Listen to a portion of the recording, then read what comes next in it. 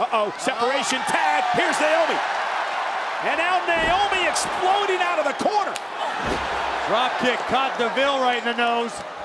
Naomi shifting the momentum to her team. Oh! Rocking Flair. And sending Charlotte toward the corner. Charlotte looking for a clothesline. Naomi for the second low kick. And Charlotte wisely rolling out of harm's way. Naomi feeling the moment, about to head outside. Naomi, oh, corkscrew over the top rope, taking out Charlotte. Naomi got all of the plancha on the outside.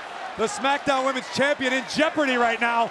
Naomi perched up top. Top rope for Naomi. Crossbody lateral press for the win over the champion and a kick out.